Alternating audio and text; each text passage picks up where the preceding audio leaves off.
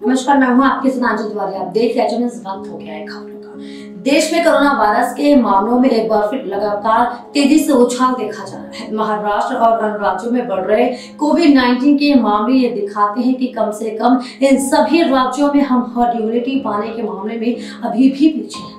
पाँच महीने तक लगातार कम होती कोरोना वायरस के मामलों की संख्या के चलते ऐसा लग रहा होता कि हम उस स्थिति में पहुँच गए हैं जहाँ पर हज इम्यूनिटी ने काम करना शुरू कर दिया है।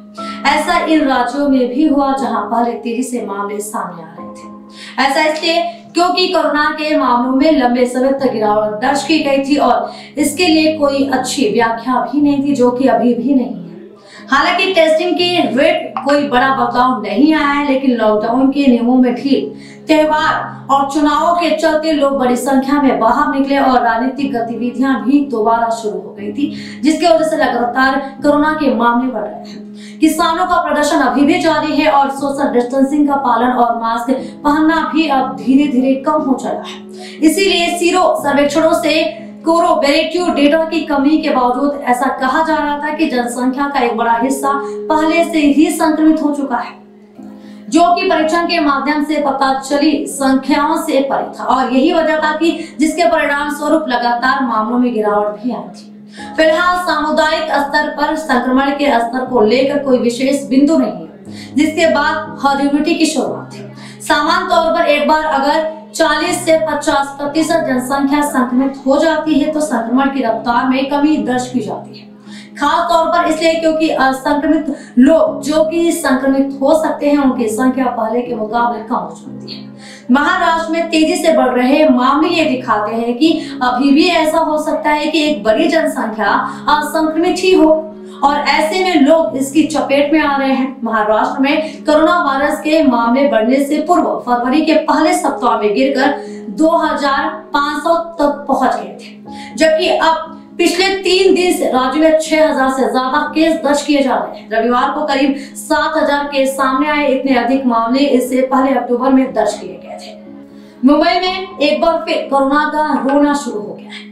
पिछले नौ दिनों से मुंबई में कोरोना के मामलों में दिन ब दिन लगातार वृद्धि हो रही है। गौरतलब है की महामारी के शुरुआत में जिन वार्ड में सबसे अधिक मरीज़ मिले थे, उन्हीं 11 वार्डों में वायरस ने फिर अपना डेरा जमा लिया है। जी हाँ पिछले सात दिनों में सबसे अधिक नए मरीज़ मुलुंड, अंधेरी खाटकोपर बांद्रा भांडू ग्रांड रोड और बोरीवली में मिले हैं। मुंबई में 9 फरवरी को तीन सौ पचहत्तर नए मरीज़ मिले थे।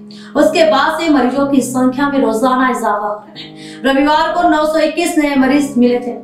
पिछले सात दिनों के आंकड़ों पर नज़र डाले तो 11 वार्डो में दो हज़ार सात सौ अठहत्तर नए कोरोना मरीज़ मिले हैं। मुंबई में रविवार को 921 नए मरीजों के साथ कुल कोरोना से ग्रसित होने वालों की संख्या तीन लाख उन्नीस हज़ार एक सौ अट्ठाईस हो गई है, जिसमें से तीन लाख नौ सौ उनसठ मरीज़ ठीक हो चुके रविवार को मुंबई में चार मरीजों की मौत हुई है, जिसके बाद कुल मौतों का आंकड़ा ग्यारह हज़ार चार सौ छियासी हो गया है। मुंबई में पाँच हज़ार आठ सौ उनसठ एक्टिव मरीज़ है, जो शहर के विभिन्न अस्पतालों में उपचार ले रहे हैं। रविवार को राज्य में छह हज़ार नौ सौ इकहत्तर नए कोरोना मरीज़ मिलने के साथ कुल कोरोना ग्रसितों का आंकड़ा इक्कीस लाख आठ हज़ार चौरासी हो गई पैंतीस मौतों के साथ राज्य में कुल मृतकों की संख्या इक्यावन हज़ार सात सौ अठासी हो गई है। राज्य में एक्टिव मरीजों की संख्या बावन हज़ार नौ सौ छप्पन हो गई और महाराष्ट्र में सबसे ज़्यादा कोरोना के मरीज़ मिल रहे हैं। जिसके लिए, जिसकी वजह से